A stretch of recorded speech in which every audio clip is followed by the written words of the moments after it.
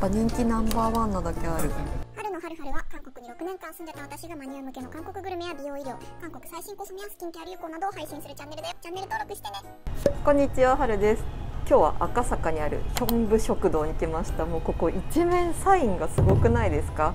あのテレビ局が近いのもあるしここ本当に味が美味しいので韓国の芸能人とか韓国の芸能人だけじゃなくて日本の芸能人もかなりたくさん訪れるお店です。そこでと美味しい韓国料理本物の韓国料理を食べたいと思います。メニューがすっごい数あるんだよね。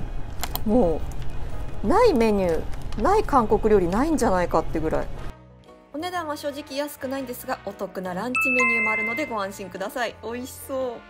人気ナンバーワンカムジャタンを食べたいと思いますお肉がゴロゴロいっぱいボリュームがあるやつ。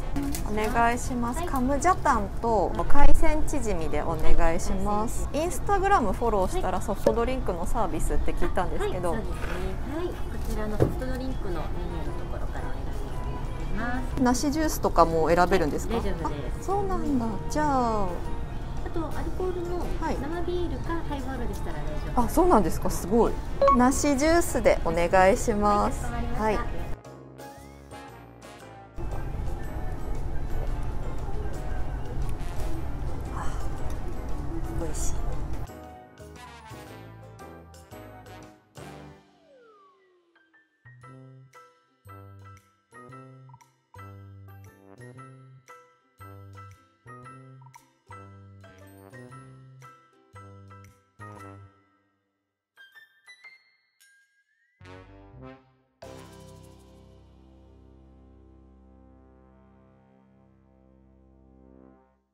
これ絶対もうシャッキシャキの大根キムチ。うん。甘いですね大根が。全然辛くないです。もう完全に甘い系です酸っぱい系じゃないですね。うん。このシャキシャキ感すっごい。ここのキムチは両方この酸っぱいずっと使ったキムチじゃなくて大根の甘みがあるキムチと白菜の甘みがあって本当にシャキシャキのキムチですね。うん、もう100点の味ですねパンちゃんも。うん、うんこれも甘辛くて美味しいですね。白ご飯が欲しくなる。すごいですよね。ああー噛んじゃった。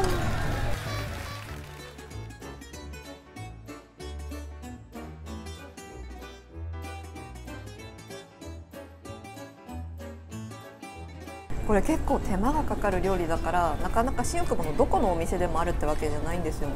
お値段もするし。楽しみです。もう一個頼んだメニュー。海鮮チヂミです美味しそう。いただきます。結構揚げ焼きでサクサクしてるチヂミも多いんですけど揚げ焼きはちょっと油っぽいなって人にはすごいおすすめです。もちもちしてます。ネギと海鮮とお野菜。食べやすいですねこれは本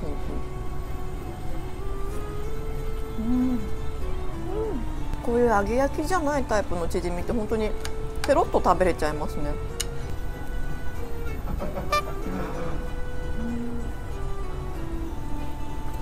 早くできないかなカムジャタン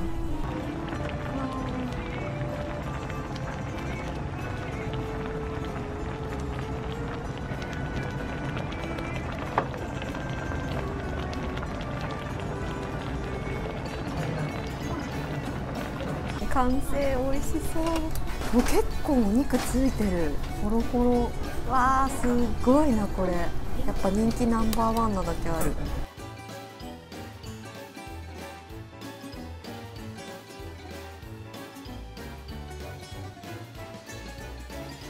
ぶりついてみます。いただきます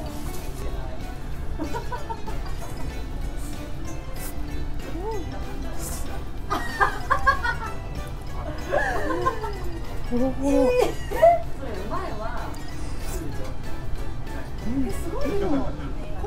すごいお肉がすごいついてる。じゃがいもも食べよう。ホックホクのじゃがいも。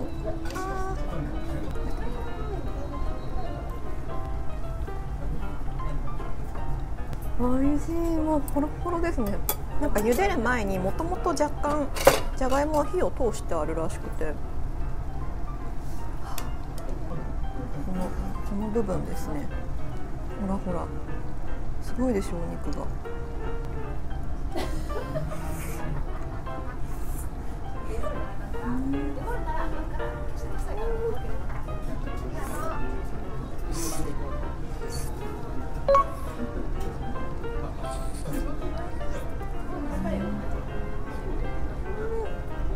カムジャタンめちゃめちゃ美味しいですね。もうもうもう。見て見て。わかるかなあ見て見て見て。すっごいお肉ついてる。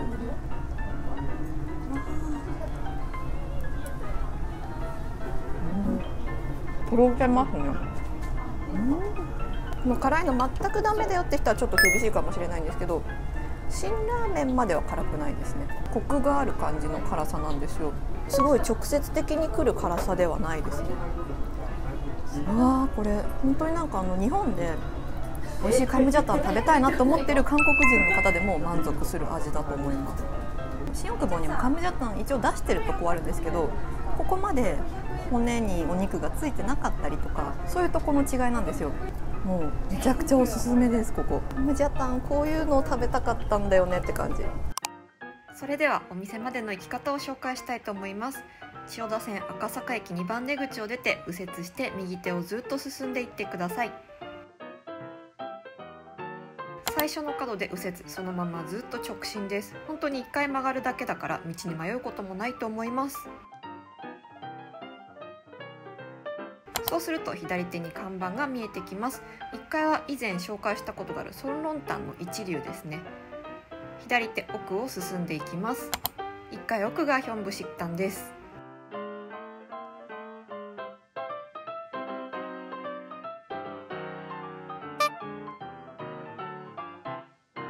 ちなみに2階は個室エリアになっていて芸能人が来るときはこちらのエリアを利用するそうです。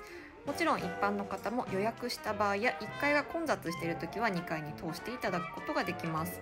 結構広々としてて大人数でも集まることができるし4人ぐらいのテーブルもあります。ちょっと密が嫌だなとか他の人と一緒になるの嫌だなって方は予約して個室をお願いしますというのが安心かもしれないですね。